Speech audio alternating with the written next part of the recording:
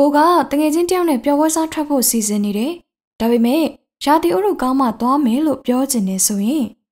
If the weather is good we will have a picnic အကယ်၍ရာသီဥတုကောင်းရင်ငါတို့ပျော်ပွဲစားထွက်မယ်ဒါကို first conditional သို့မဟုတ် real conditional sentence လို့ခေါ်ပါတယ်ဒီ sentence အမျိုးအစားကဖြစ်လာနိုင်တဲ့အနာဂတ်အခြေအနေတွေနဲ့ပတ်သက်ပြီးတော့ပြောတဲ့အခါမှာသုံးပါတယ်နောက်တစ်ခုကကိုအမှန်တကယ်ဖြစ်တဲ့အဖြစ်အပျက်တွေပြောချင်ရင်လည်းသုံးပြပါတယ် သူ့ရဲ့ sentence structure ကပထမဆုံး if လာမယ်သူ့ရဲ့နောက်ကနေ present simple tense တကြောင်းလိုက်မယ်ပြီးရင် comma ခံပြီးတော့ will ကိုအသားပေးပြီးတော့သုံးရတဲ့ simple future tense လိုက်ပေးရမယ်ဒါကတော့အသုံးများတဲ့ပုံစံပါတခြားပုံစံတွေနဲ့လည်း first conditional sentence ကိုသုံးလို့ရပါသေးတယ်ဒါကိုခဏနေရှင်းပြပေးပါမယ်ဒါဆိုရင် first conditional သို့မဟုတ် real conditional sentence type ကိုဘယ်နေရာတွေမှာအသုံးပြုလဲဆိုတာကိုအသေးစိတ်ဆက်ပြီးတော့ကြည့်ကြပါမယ်။ Okay ပထမဆုံးတစ်ခုအနာဂတ်မှာဖြစ်နိုင်ခြေရှိတာတွေကိုဖော်ပြခြင်းသုံးပါတယ်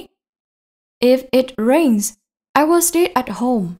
အကယ်၍မိုးရွာရင်ငါအိမ်ထဲမှာနေလိမ့်မယ်။ဒီစာကြောင်းကအနာဂတ်မှာမိုးရွာရင်ဆိုတဲ့ဖြစ်နိုင်ခြေရှိတာကိုဖော်ပြတာဖြစ်ပြီးတော့အကယ်၍မိုးရွာခဲ့ရင်ဘာလုပ်မယ်ဆိုတာကိုပါဖော်ပြထားပါတယ်။ဒါဆိုရင်ဒုတိယတစ်ခုခံမှန်းချက်တွေကိုပြောရင်သုံးတယ် If you study hard you will pass the exam အကယ်၍မင်းစာကြိုးစားရင်မင်းစာမေးပွဲအောင်လိမ့်မယ်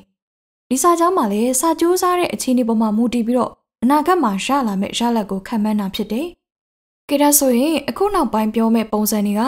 wall နဲ့မဟုတ်ဘဲနဲ့တခြားပုံစံလေးတွေဆိုတော့တေချာလေး queue ဆိုင်ပြီးတော့ကြည့်ပေးပါနော်။တတိယကတော့အကြံပေးတဲ့အခါမှာသုံးတာပါ။ If you have a heartache you should take some medicine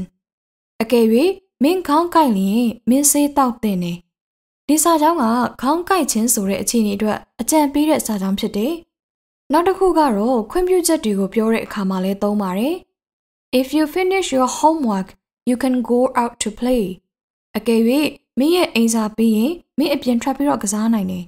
ဒီစာကြောင်းမှာအိမ်စာပြီးရင်အပြင်ထွက်ပြီးတော့ကစားလို့ရနိုင်တယ်ဆိုတဲ့ခွင့်ပြုချက်ကိုဖော်ပြထားတာပါဒါဆိုအားလုံးကိုခြုံကြည့်လိုက်မယ်ဆိုရင် past conditional sentence တွေကိုကိုအမှန်တကယ်ဖြစ်တဲ့အဖြစ်အပျက်တွေ ဒါမှမဟုတ်အနာဂတ်မှာဖြစ်ပေါ်လာမယ့်အခြေအနေတွေနဲ့သူတို့စီကနေရရှိလာမယ့်ရလဒ်တွေကိုပြောတဲ့အခါမှာအသုံးပြုပါတယ်။နောက်ဗီဒီယိုမှာတော့ second conditional sentence အကြောင်းလေးကိုရှင်းပြပေးပါမယ်။ကြည့်ဒါဆိုရင်တော့ဒီဗီဒီယိုလေးကဒီလောက်ပါပဲ။ See you all again in the next video. Bye bye everyone.